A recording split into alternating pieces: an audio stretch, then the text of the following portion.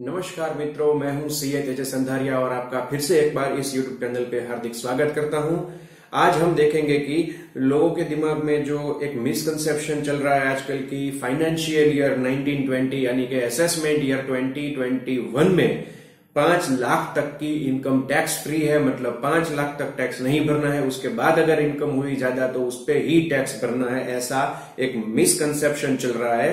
तो मैं आज आपको एग्जाम्पल्स अलग अलग लेके ये साबित करके दिखाऊँगा कि इवन पाँच लाख से कम भी इनकम हुई तो भी टैक्स भरना होगा।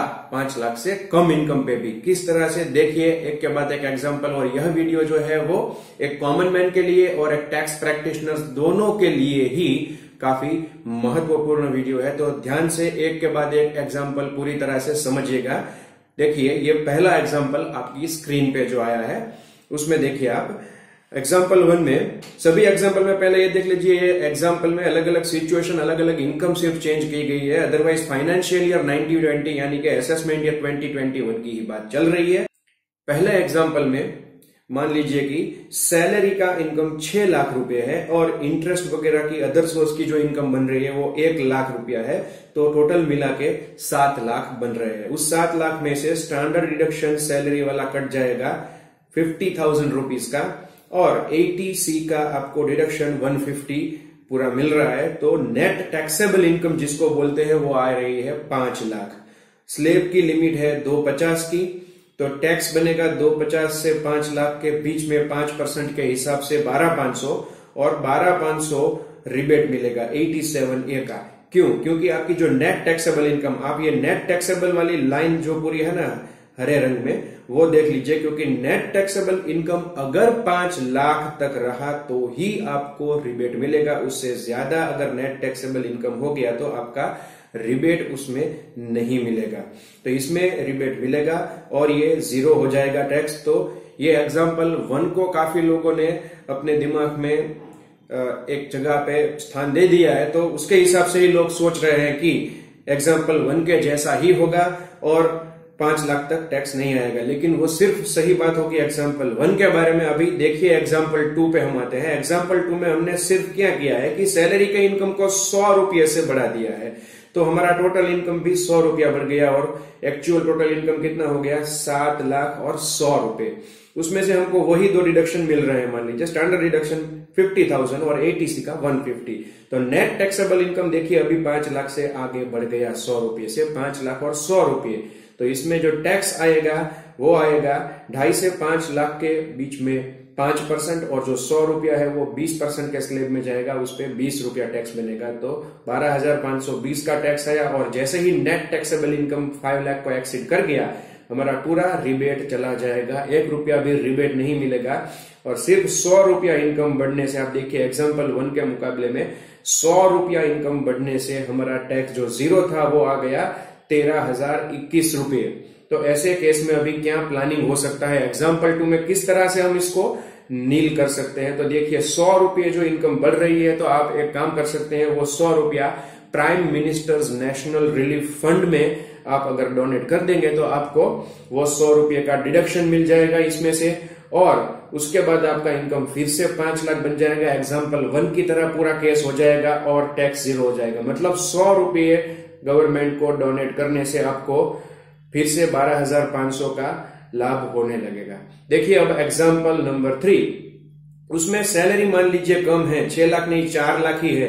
लेकिन अभी क्या है स्पेशल रेट वाली इनकम आ रही है। स्पेशल रेट वाली इनकम में से हमने इस एग्जांपल थ्री में जो ली है, वो है short term capital gain under section triple one A at the rate of fifteen percent मतलब आपको जो इक्विटी शेयर या इक्विटी ओरिएंटेड म्यूचुअल फंड में जिस आपका होल्डिंग अगर बारह महीने से कम वाला है तो उसमें से आपको जो गेन हो रहा है, वो है शॉर्ट टर्म कैपिटल गेन तो उसके ऊपर पंद्रह परसेंट का फिक्स रेट लगता है स्पेशल रेट लगता है।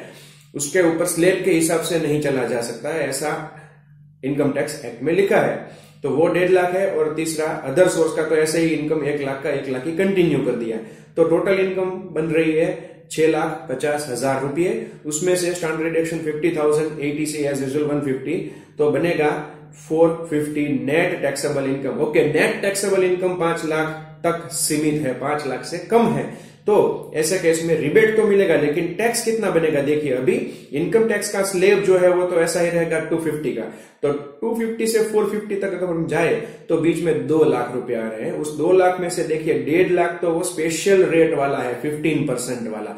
तो उस डेढ़ लाख पे 15 परसेंट टैक्स आएगा, बाकी बचा पचास हज़ार रुपया। उस पर हमको स्लेब के हिसाब से पाँच परसेंट का टैक्स भरना पड़ेगा। तो टोटल मिला के टैक्स बनता है ट्वेंटी फाइव थाउज़ेंड जिसमें से हमको रिबेट मैक्सिमम मिलेगा बारह हज़ार पाँच सौ, जो हमको एग्ज़ाम्पल वन में मिल रहा था, वही मैक्सिमम रिबेट मिलेगा बारह हज़ार पाँच सौ।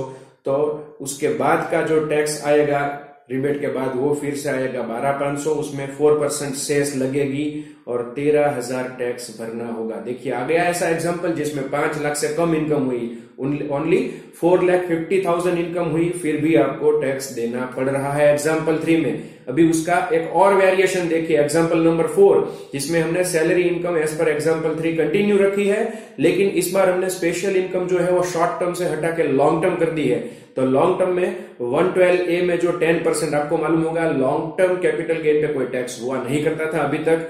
जो शेयर या इक्विटी ओरिएंटेड म्यूचुअल फंड से हो रही थी उस पर लेकिन पिछले बजट में इसके ऊपर टैक्स डाल दिया गया। था। मतलब 2018 की मैं बात कर रहा हूँ उस बजट में इस पे टैक्स डाल दिया गया था और उसके हिसाब से 125,000 अभी यहाँ पे आ रहा है एक लाख काट के क्योंकि एक लाख तक को तो वो लॉन्ग टर्म कैपिटल गेन जो है वो हमको उस पर टैक्स नहीं भरना है। तो मान लीजिए दो पच्चीस हुआ था उसमें से एक लाख तक हमने बेनिफिट अवेल कर भी लिया। बाद में जो बच रहा है एक लाख पच्चीस हज़ार रुपया उसके ऊपर अभी हम टैक्स भरेंगे। और एक लाख रुपया अदर सोर्स वाला शुरू रहेगा। तो टोटल मिला के बना छह पच्चीस, लेकिन उसमें से एज यूजल स्टैंडर्ड डिडक्शन और एटीसी कटने के बाद बनता है चार पच्चीस। देखिए, पाँच से नीचे हुआ है, चार पच्चीस, फिर भी टैक्स आएगा। किस तरह से? देखिए, अभी ये बहुत ही कॉम्प्लेक्स एग्ज़ाम्पल है, उसके पूरी तरह से समझिएगा।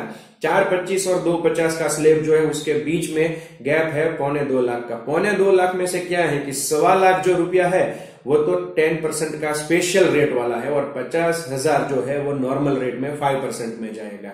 तो सवा लाख का दस परसेंट अगर हम निकाले तो बनेगा बारह पाँच सौ और पचास हज़ार का पाँच परसेंट निकालेंगे तो बनेगा two thousand five hundred total बिना के हमारा टैक्स बन रहा है हमारा फिफ्टीन थाउज़ेंड टैक्स जो फिफ्टीन थाउज़ेंड बन रहा है, उसमें से रिबेट सिर्फ़ हमको दो हज़ार पाँच सौ मिलेगा. क्यों?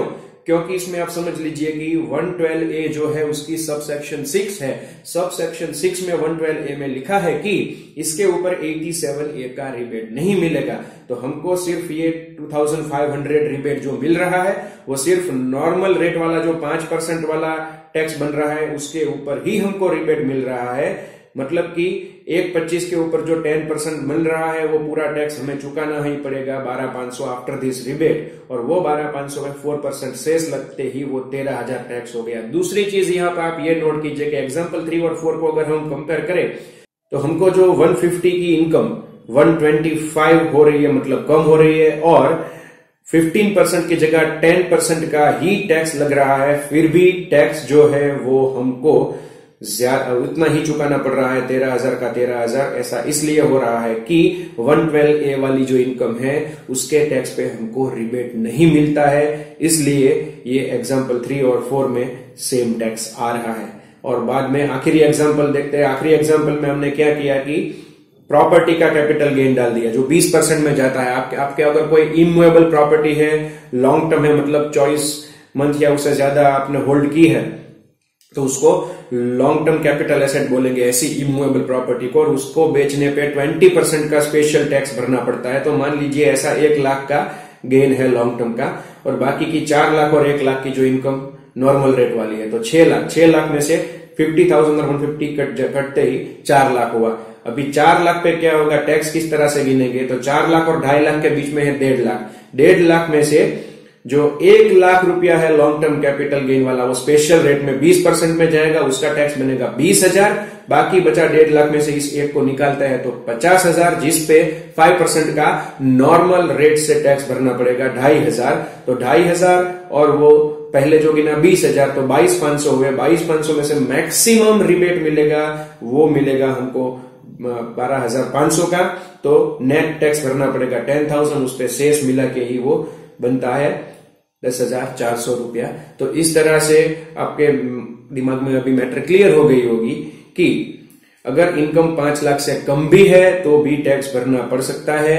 ये डिपेंड उसी पर करता है कि आपका इनकम का जो कंपोनेंट्स है, उसका कंपोजिशन किस टाइप का है कौन कौन से प्रकार की इनकम है, उस पर डिपेंड करेगा। और दूसरी बात, पाँच लाख से ज़्यादा इनकम हो गई तो आपका पूरा रिबेट चला जाएगा। नेट टैक्सेबल इनकम आपको कैसे भी करके पाँच लाख तक होगी तो ही आपको ये रिबेट मिल सकता है। अदरवाइज़ ये रिबेट के लिए आप टोटली इन एलिजिबल हो जाएँगे। अगर और भी वेरिएशंस हैं, अगर आपके दिमाग में ये एग्जांपल एक से पाँच के अलावा तो वो वेरिएशन के बारे में अगर आपकी कोई और भी क्वेरी है तो आप इस वीडियो के कमेंट में वो लिख सकते हैं। मैं आपको क्लैरिफिकेशन देने का पूरा प्रयास करूँगा। धन्यवाद।